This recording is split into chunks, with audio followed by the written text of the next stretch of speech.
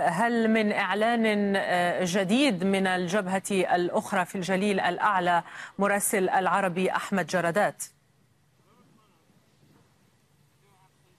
يعني في الساعة الأخيرة أمال عشرات الصواريخ التي أطلقت نحو مناطق في إصبع الجليل وأيضا في مزارع شبعة وهضبة الجولان السوري المحتل. نبدأ من منطقة كريات شمونة ومحيطها. أطلقت عشرات الصواريخ. هناك حديث عن سقوط صاروخ واحد على الأقل في داخل كريات شمونة دون وقوع إصابات ولكن دوت صافرات الإنذار في هذه المدينة أكثر من مرة في الساعة الأخيرة وعادة ما يستهدفها حزب الله بعد استهداف مدنيين من قبل الجيش الإسرائيلي في لبنان. وعادة ما يرد بقصف منطقة كريات شمونة أيضا في منطقة مرجليوت تم رصد لسقوط صاروخ واحد على الأقل إضافة إلى عدة هجمات حدثت هذا اليوم بالصواريخ المضادة للدروع وبالمسيرات المفخخة تحديدا في منطقة أفيفيم والمناطق المحيطة لها في الجليل الأعلى. أيضا في الساعة الأخيرة على الأقل 15 صاروخا أطلقت من لبنان نحو مزارع شبعة المحتلة ونحو أيضا المواقع عسكرية إسرائيلية موجودة في جبل الشيخ في هضبة الجولان.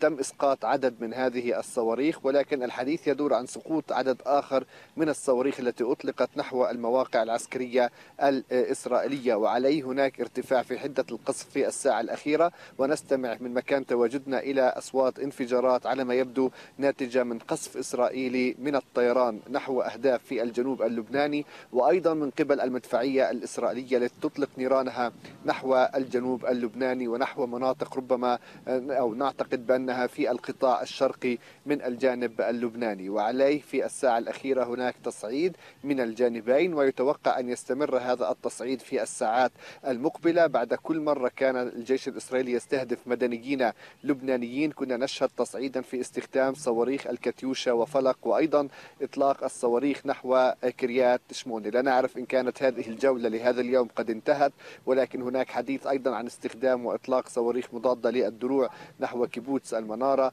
وأيضا مواقع عسكرية إسرائيلية تقع في الجليل الأعلى بعد أن كانت الأهداف صباح هذا اليوم التي كان يطلق حزب الله صواريخ الصواريخ نحوها كانت تتركز في الجليل الغربي في ساعات الصباح وحتى ساعات الظهر بإطلاق الصواريخ نحو مواقع عسكرية إسرائيلية تقع في منطقة شلومي والمناطق المحيطة بها. ولكن في ساعات المساء وفي ساعات ما بعد العصر يتركز القصف من قبل حزب الله في القطاع أو في المنطقة الشرقية تحديدا في إصبع الجليل.